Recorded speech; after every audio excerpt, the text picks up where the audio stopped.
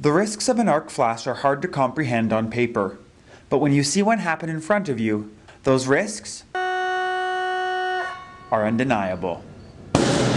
What is an arc flash? An arc flash is a hazardous release of energy that's caused when electricity that should be inside the wire gets outside the wire, is, is a little bit of a simple way to put it. But now you have ionized air and plasma, and along with that, a shock wave or pressure wave, and any shrapnel that pressure wave might be pushing, and molten metal at 1900 degrees Fahrenheit or hotter, all of that coming at you at once.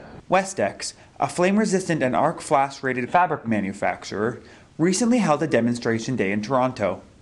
Westex's technical director, Scott Margolin, says anyone who works on or near energized electrical parts should be aware of arc flash. These things project. The energy comes out of the arc gap, particularly in industrial gear as opposed to in up a pole, uh, open air spherical arc. So the plasma is going to come out. The molten metal is going to go 7, 8, 9 meters in all directions, 180 degrees around the equipment that's faulted. Uh, the pressure wave is going to come out as well. So the hazard is not just to somebody within a half a meter or a meter of the thing, it's to anybody within 4 or 5 or 6 meters, depending upon the energy level and what just blew up.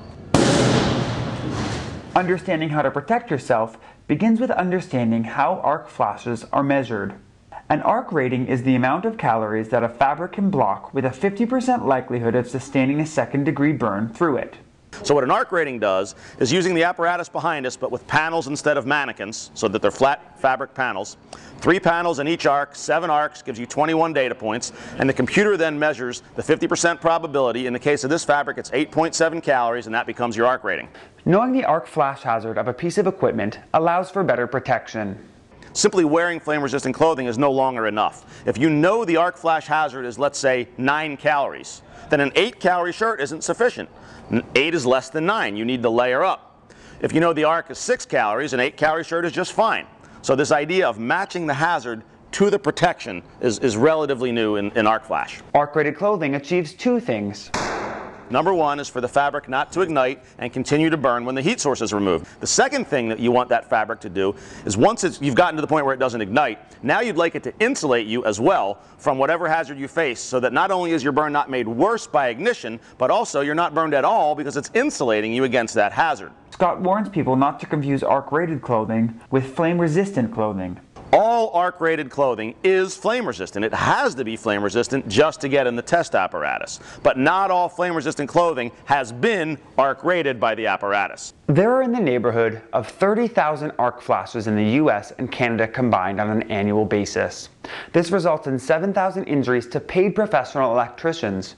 Scott says this is one every 15 minutes in a regular 40 hour work week. Of those 7,000 injuries, 2,000 of them will result in hospitalization, and 250 of them will result in death. In order to prevent this from happening, people need to be informed. The arcs are going to happen. People make mistakes. Equipment ages. Things fail. Conductive dust causes a lot of these.